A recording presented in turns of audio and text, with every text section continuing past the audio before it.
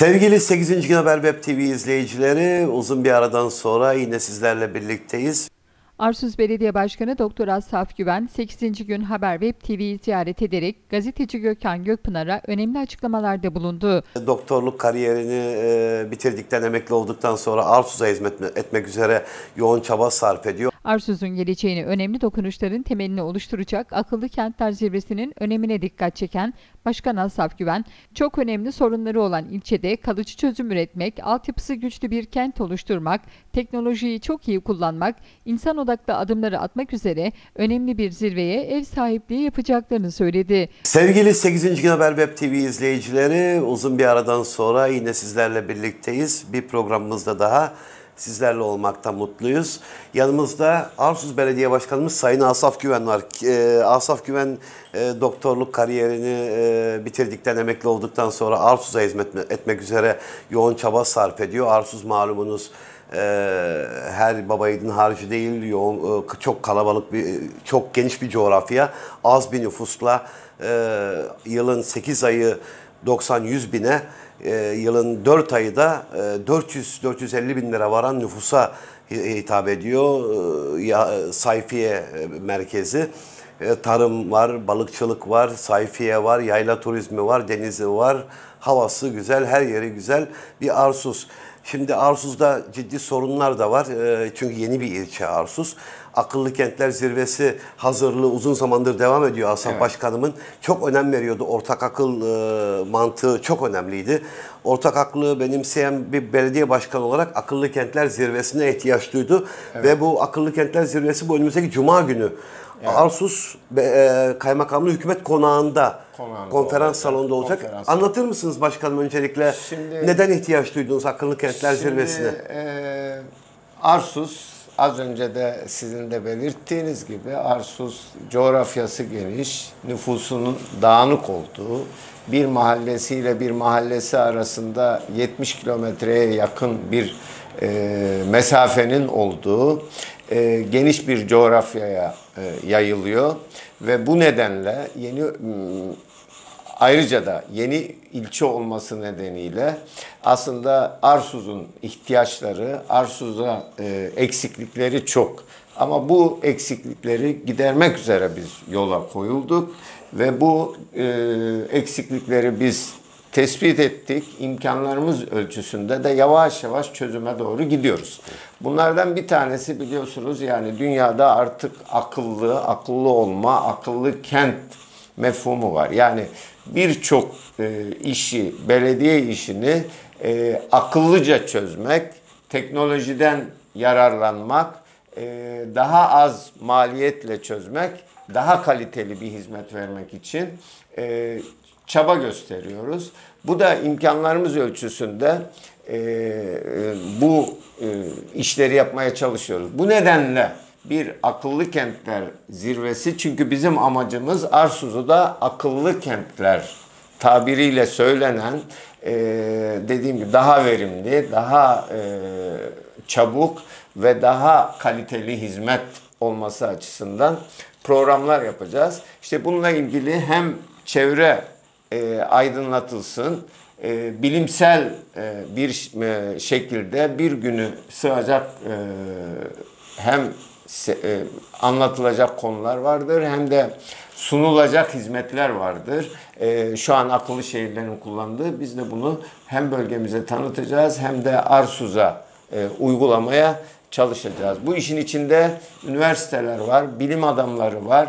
İstanbul'dan İzmir'e, Antalya'ya kadar belediye başkanları ya da ilgili daire müdürlerinin katılacağı bir e, toplantı olacak. Bu şekilde bir zirve yapıyoruz. Zirveden beklentiniz nedir? Valla bu zirveden sonra beklentimiz hem e, Arsus halkı bu konuda yaydınlanacak hem biz buradan e, bazı şeyler alacağız ve aldığımız şeyleri Arsuz'a uygulayacağız. Yani Arsuz'u en kısa zamanda yani daha doğrusu 5 yıl içerisinde e, Türkiye'de ve dünyada e, olabilen e, bu konuda teknolojiyi kullanan e, verimli bir şekilde hizmet veren bir belediye haline getirmeye çalışacağız. Bu da attığımız ilk adımdır bununla ilgili. Şimdi çukur çamur diyeceğim.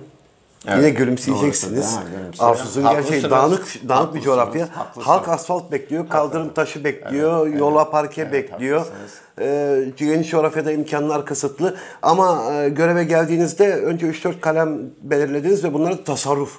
Tasarrufa, yoğun tasarrufa gidiniz. Onlardan elde ettiğiniz gelirle de hizmete dönüştürme amacındasınız. Şu anda asfaltı e, bekleyen vatandaşlarımıza müjde olarak ne diyeceksiniz?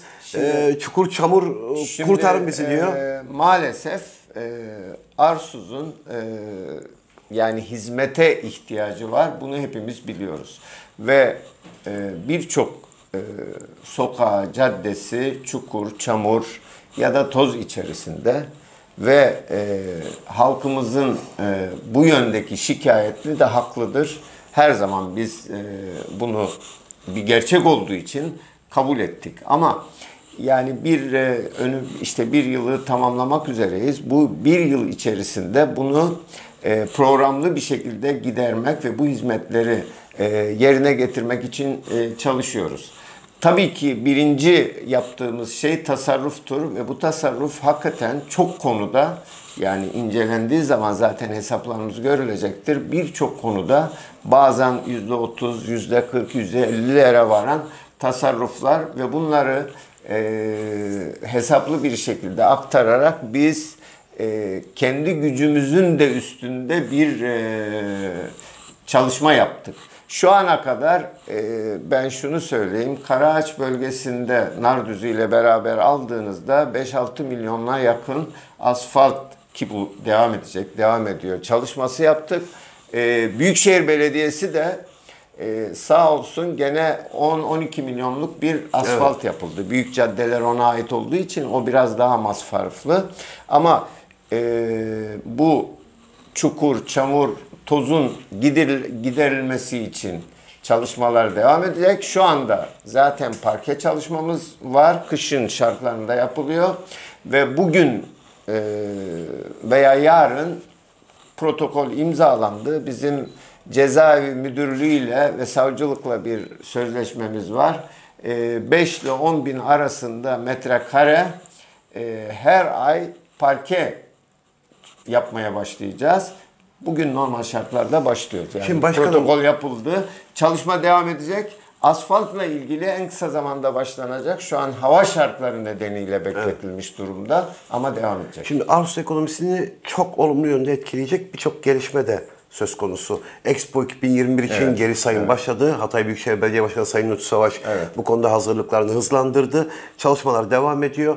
Ee, bu arada Arsus e, önemli bir nimet elde edecek. e, yoğun ilgi görecek bir Expo'yu, Expo'da ev sahipliği yapacak. İskenderun ve Arsus, Belen üçgeninde Arsus ev sahibi olacak. Aynı zamanda Arsus Samandağ yolu, Çevlik e, Kale yolu daha doğrusu asfaltlama çalışmaları bugünlerde, önümüzdeki günlerde başlayacağı için yine Arsus eskiden daha fazla rağbet görecek. Bu transit geçiş bu yolu gezmek için, oralara gitmek için Arsus'u kullanacak e, bir sürü insanımız hala da gidip gidiyorlar ama Evet. asfalttan dolayı geri dönüyorlar.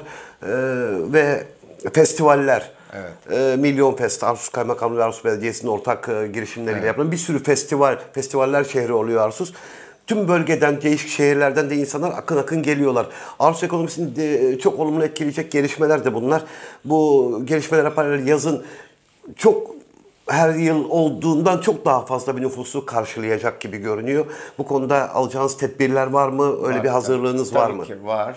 Ee, şimdi tabii ki e, başta gene siz e, belirttiğiniz gibi yani şu an 90 yeni sayımda 93 bin civarında bir nüfusumuz var bizim kayıtlı nüfusumuz var ama e, yazın bu 300 binleri 400 binleri aşıyor. E, ve maalesef yani 3 katına 4 katına çıkıyor. Burada e, yapılacak hizmetler e, ve şey yükü artıyor. Bununla ilgili e, geçen seneden dersler alarak şimdiden tabii tedbirler almaya çalışıyoruz. Yani belirli bölgelerde çalışanları arttırarak işte daha e, şeyli tedbirler alarak işte trafikle ilgili çalışmalarımız var. Belirli yolları yayalaştırarak Arsuz yaza doğru içi ee, e, yayalaştırılacak şu an, mı? tabii. Şu an bir projemiz var. Onu en kısa zamanda yani Mayıs'a Çevre yolu hazırlığı mahkemede duruyordu o.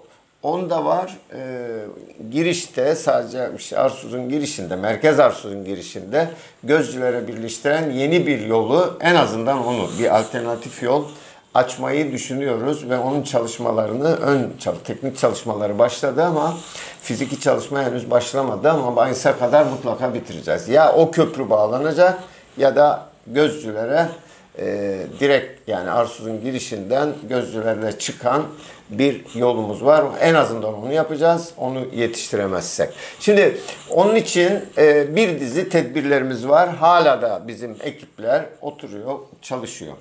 E, şeyle ilgili tabii ki ekonomisi Arsuz'un ben e, 2T dediğimiz tarım, turizm. İşte yaza doğru turizm çok önemli. Tarımla ilgili çalışmalarımız var. Bu e, işte kadın e, Elis semt pazarlarından başladı. Evet, o çok önemli Şu anda proje. kooperatifleşme ile ilgili. Birçok belediye örnek Tabii alıyor ki, tabii ki. projenizi. Kooperatifleşme ile ilgili çalışmalar var ama biz Expo'dan en iyi nasıl Arsuz nasıl yararlanır da yani mecliste bu yasal bir zorunluluk olmamasına rağmen ama biz en iyi en iyi şekilde nasıl yararlanırız diye en son mecliste bir e, meclis üyelerinden oluşan bir komisyon oluşturduk. Bu komisyon çalışacak meclis üyeleriyle beraber belediye içerisinde bir komisyon oluşturduk ve bunlar sürekli e, ilişkide olacaklar. E, hem halkla hem de işte Expo'nun yöneticiliği yapılacaklarla. Çünkü e, bizim Arsuz'da Expo'nun yeri daha çok uluslararası biliyorsunuz. Evet. Orada uluslararası gastronomi şehirlerinin olacağı ve uluslararası ilişkilerin yani ticaretin bağlantılarının yapılacağı bir yer. Ona yönelik çalışmalarımız var. Ama bunlar hep çalışılıyor. İnşallah e, Arsuz'a büyük bir değer katacak. E, Büyükşehir'le birlikte bir çalışmamız daha var biliyorsunuz. Bizim Nardüzü'nde bir spor tesisi olan bir arsamız var. Büyük çapta bir arsa.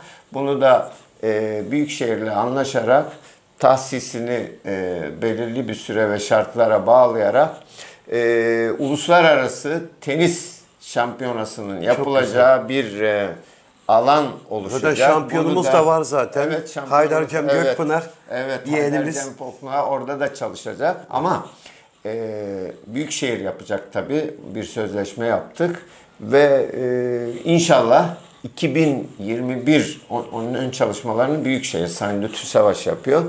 E, 2021 bayan tenis şampiyonası, dünya tenis şampiyonasının Arsuz'da olmasını bekliyoruz. Çalışmalarımız onunla ilgili. Çok güzel. Bu da çok önemli. Yani Evet. hem hareketlenme, turizm, Arsuz'un ta- tanıtılması açısından önemli. Evet.